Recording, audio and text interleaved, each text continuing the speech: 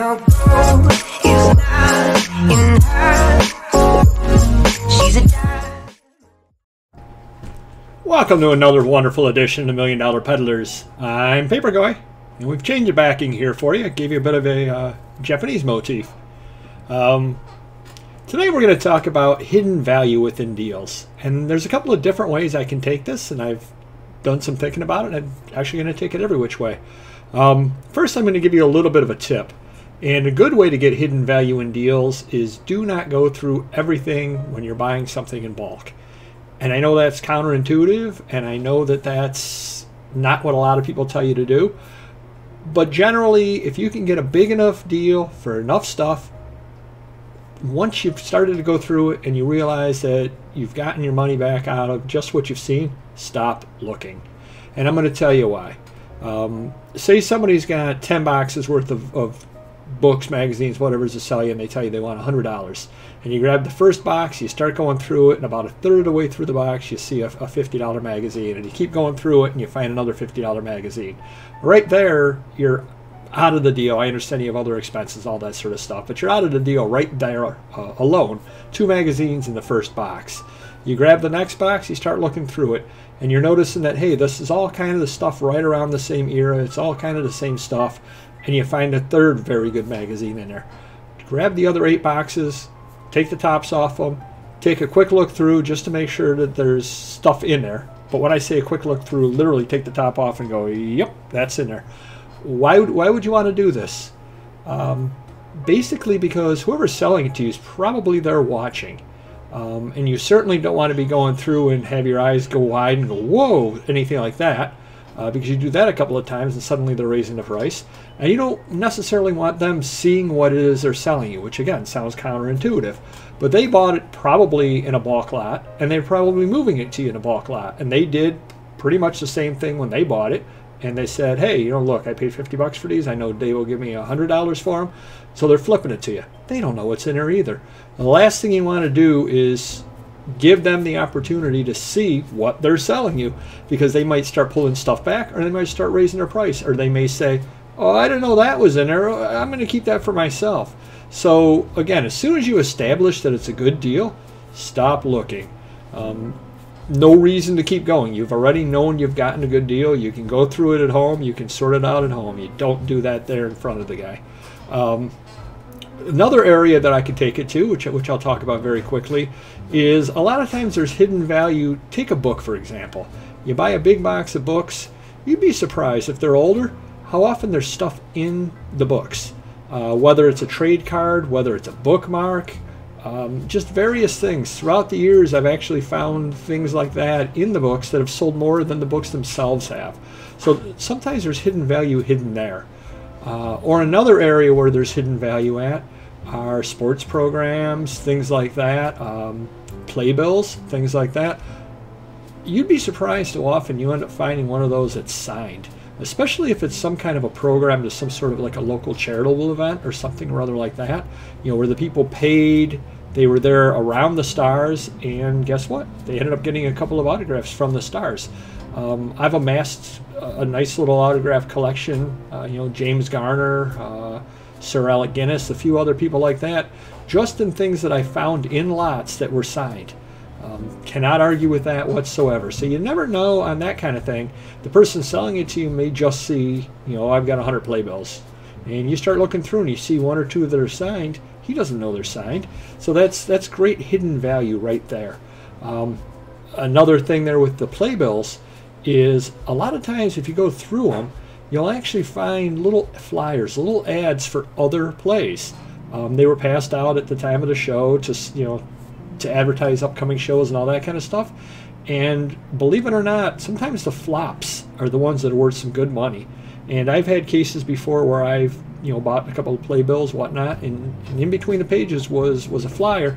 And I remember one flyer, and I do not remember what the play was, and nobody else does either, which is why it was a flop.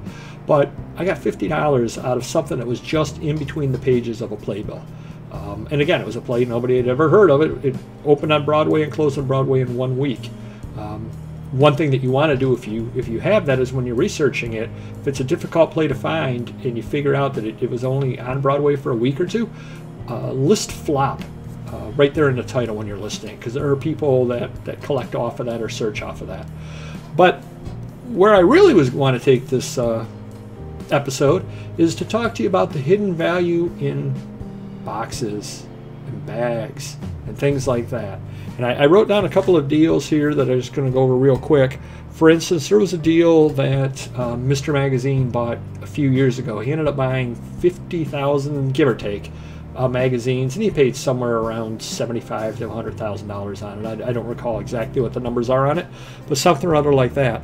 But everything was boxed and everything was bagged, um, and it, it, just running through just the cost of the boxes. The boxes, magazine boxes, run you eh, around five dollars each. You can buy them cheaper if you buy a lot of them, um, but they're about five dollars a piece. And in order for there to be fifty thousand magazines, you're talking about $2,500 worth of boxes.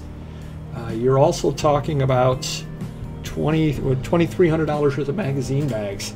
Um, you know, buying them retail. Obviously, you can get them wholesale a little bit cheaper, but you're still talking about almost $5,000 worth of value right there.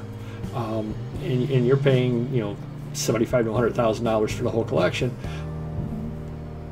but you take down the price of, price of each item just by that alone. And the other nice thing about that is they stay safe when you have them stored, and then when they sell, they're already bagged, so you don't have to worry about that.